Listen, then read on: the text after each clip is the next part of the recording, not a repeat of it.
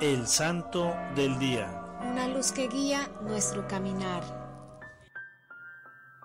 Hoy 24 de octubre conmemoramos a San Antonio María Claret, obispo. Nació en Salén en el año 1807 en Cataluña, España, hijo de un tejedor en una familia profundamente cristiana con muchos hijos. Desde los 12 años trabajó en el taller de su padre y a los 17 fue enviado a Barcelona para realizar estudios de industria textil. Cuatro años después, sin embargo, Antonio regresó a Salén, pero para ingresar al seminario de Vic donde se ordenó como sacerdote en el año 1835. Siguiendo su vocación de misionero, en el año 1839 viajó a Roma para unirse a los jesuitas, quienes más tarde lo devolvieron a España para que predicara durante las guerras civiles del siglo XIX, donde realiza una intensa labor. Finalmente, en el año 1847, San Antonio María Claret fue nombrado obispo de las Islas Canarias. Esta pausa le sirve para organizar la fundación de la Congregación de los Misioneros del Inmaculado Corazón de María,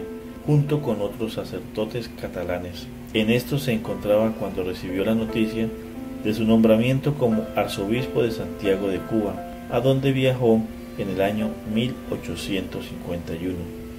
Su diócesis comprendía las provincias de Camagüey y Oriente. En la iglesia americana San Antonio fundó junto con la madre María Antonia París las misioneras claretianas, conocidas también como religiosas de María Inmaculada. San Antonio María Claret se ganó muchos enemigos en Cuba por predicar la igualdad entre blancos y negros.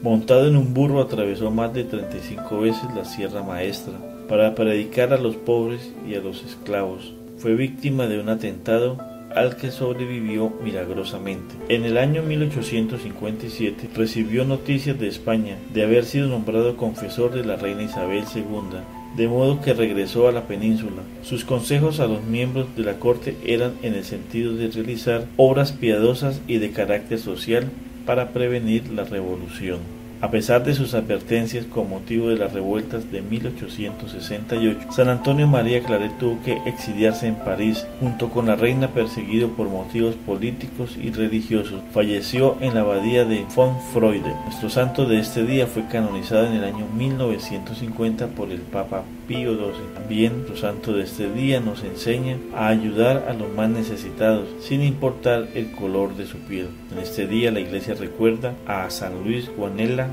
San Rafael Guizar y Valencia, Beato Amado García Sánchez, Beato José Baldó.